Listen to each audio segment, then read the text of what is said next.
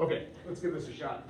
All right, uh, right now, what we are going to give a shot, give a try, is I want everybody to open up that Hamilton versus Jefferson document. Now, inside that Hamilton versus Jefferson document, you're going to see two PDFs. Okay, so one of those is the worksheet in which you're going to want to dump into Yep, so that you can write on it, okay? So you're gonna wanna put that into Notability, okay? And I'll explain how this is set up in just a moment, okay?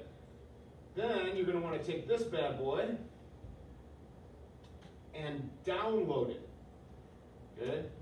And I'll explain why in just a second. So you're gonna go over here, hit that download button, okay? And then open it up. Because once you do that, for whatever reason, I put little notes in here that you guys are going to want to follow. You guys got me? Okay? So, see where it says the people, see where it says democracy, okay? Take note of where that is, the power of state governments, okay? Here's one that I missed, by the way. Okay, you guys see on that T-chart that it asks for the power of state governments and the power of uh, federal governments? You guys see that on the sheet?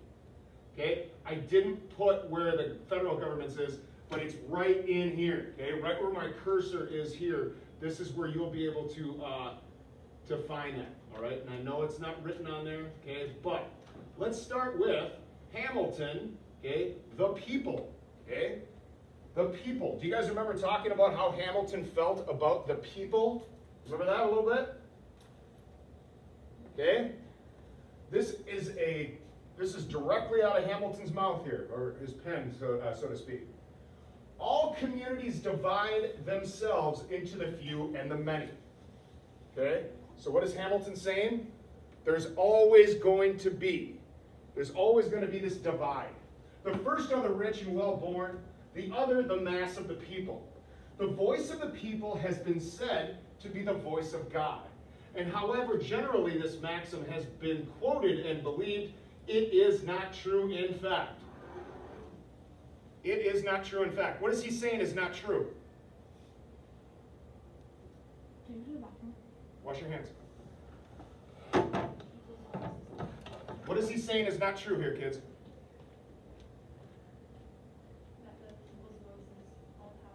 Yeah, that their voice is not, okay? It, uh, the voice of the people has been said to be the voice of God. He's saying that's not true. The people are turbulent and changing. What is, what is turbulent? What does that word mean? If the pilot comes on in the middle of your flight and says, we're experiencing turbulence, what does that mean? It's shaky, right? Okay? He's calling the people shaky. They seldom judge or determine right. Give, therefore, to the first class, oh, he's saying the upper class, a distinct permanent share in the government.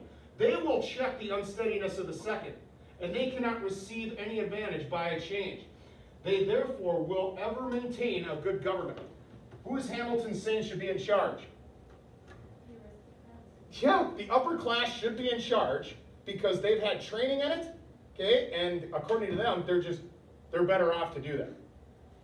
Okay, so I want you to go back over to your uh, little T-chart there. Okay, if you can set this up to where you've got both things okay, that you can look at at the same time. That is going to be to your advantage, okay? But on the worksheet here, okay, so first one, okay, what are you to write down? Under Hamilton, it says summary of opinion. These are your words, okay, where, the, where my uh, cursor is right here. You're going to write in your words how you think Hamilton defines the people. Okay, and then you're going to give me just at least four or five words, okay, a part of a quote that explains your synthesis. Does that make sense? Okay?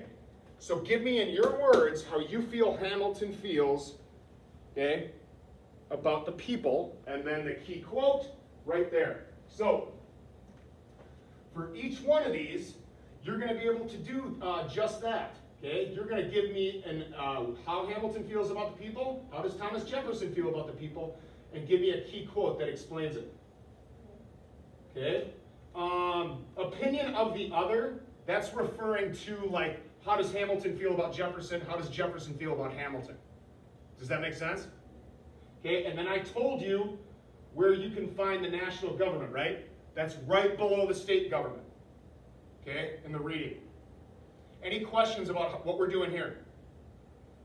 None? Okay, I'm going to give you just a little bit of work time and I'm going to come around and answer any questions that you might have.